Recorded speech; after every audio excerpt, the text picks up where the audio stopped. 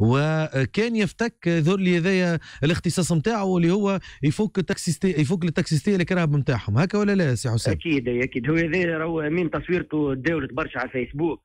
معناها داولوها العديد من مستعملي صفحات سؤال. سؤال قبل هذاك نجموا نهبطوا تصويرته إحنا مثلا ولا لا لأنه عندنا التصوير أه، نتاعو تنجد والله تفلوتيوها وكهو نفلوتيوها وكهو. أوكي، تفلوتيها. واضح تفضل سيدي؟ donc بالنسبة لي هو داولت ال- العديد من مواقع التواصل الاجتماعي كونه. النفر هذايا معناه مروع سواق سيارات الأجرة وهبطوا فيه تحذير. donc باستعمال ال- الآلات الحادة كما نقولوا الشوفه وبيان سكاكن donc لهنا جات المعلومة بالنسبة لنا نحن في فرقة الأبحاث التفتيش الحرس الوطني بالمحمدية اللي ثم شكون معناه يتردد بالنسبة للسيد هذا يتردد باش يقابل آه، شكون أحد المنحرفين في الجهة. هنا نصبوا له ال- الوحدات نتاعنا نصبوا له كمين وبقاو يترصدوا فيه لو طون اللي جاء بال- بالدراجة ناريه السيد هذا فيه 12 منشور تفتيش المختلف في الأجهزة القضائية وال- والأمنية من أجل السرقة والسرقة باستعمال العنف. تكوين عصابة مفسدين. دونك لهنا باستشارة النيابة العمومية أذنت بالاحتفاظ به ولو باش يتم احالته اليوم على ال- الأجهزة القضائية ببن عروس أعطيك فكرة بالنسبة للسيد هذا فيه مضامين حكم ب 18 سنة حبس. هاي؟ مجموع الاحكام تاعو. donc لهنا باش يتحال العداله وهي باش تاخذ الإجراءات القانونية في شأن. طيب شكرا لك سي حسام. قبل ما نكملوا معاك الوضعية اليوم في آه، في الأماكن اللي صارت فيها احتجاجات في طبوربه في سيدي بوزيد في قفصة في جبنيانة. إذا عندك آه، معلومة تنجم تفيدنا بها.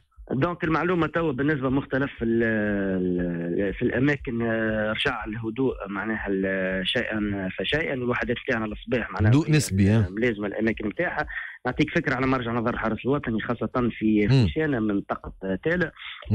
اللي شهدت البارح تحرك زاد كيف كيف من طرف 70 نفر قاموا بإشعال العجلات المطاطية ورشق مركز الحرس الوطني بالحجارة يعني حتى ولو تحاورت معاهم عقلاء الجهة لأنه الحرس معناها تعمد التدخل بالقوة قصد تفريق ال- المتجمهرين اللي. قاموا برشق الوحدات وأصابوا في بعض الاحيان الوحدات نتاعنا وبعض السيارات. آه، الوضع تحت السيطرة اليوم معناتها الاحتجاجات تراجعت فما فماش آه، آه، تحذيرات تقولوها للمواطنين وإلا فماش آه، أمور تحبوا ماذا بينا pour la communication تعرف في الفترة هذه la communication مهمة برشا الاتصال مع الأولياء والمواطن- مع المواطنين مهمة برشا.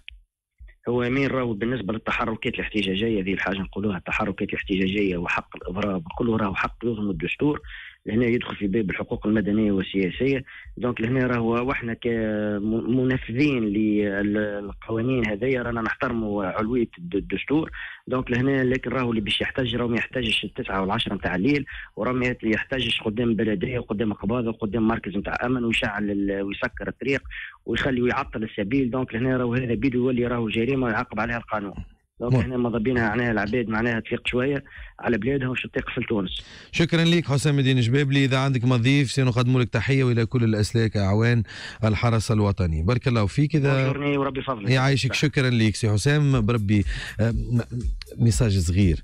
راهو كي نحرقوا مركز ولا كي نحرقوا قباضه راهو هذيك الكل باش يرجع بالضرر اللي كنت فيه معنى من حقك نعرفوا الوضعية الاجتماعية صعيبة برشا اليوم ونعرفوا أنه ما فما أمور برشا أمور مش ماشية. ولكن تزيد تعكر الأمور وزيد تعكر الأمور اذا تدخل في صراع وفي صدام مع عون الأمن. عون الأمن يخدم على روحه وربي يعينه والمركز الأمن هذاك اللي كنت قبل أي ناس آخرين. بعد بعد كيفاش باش تطلع بطاقه تعريف؟ كيفاش كيفاش باش يكون عندك سيكوريتي في المكان اللي أنت فيه. فرجاء رجاء رجاء راهو ما عنده حتى دخل مركز الأمن والبلدية والشرطة إذا باش تحرقها وإذا باش تخربها. فحتى لو كان أنت في الأمور حقك تحتاج ما تخليش بلادك تتخرب. هذا شعار لازم نرفعوه في كل الاحتجاجات وماشيين معاكم في وأن الوضعية ما تعجبش. واحتج كيف ما تحب ولكن دون عنف ودون الاعتداء على الأملاك الغير ودون الاعتداء على المقرات الأمنية والمقرات السياسية.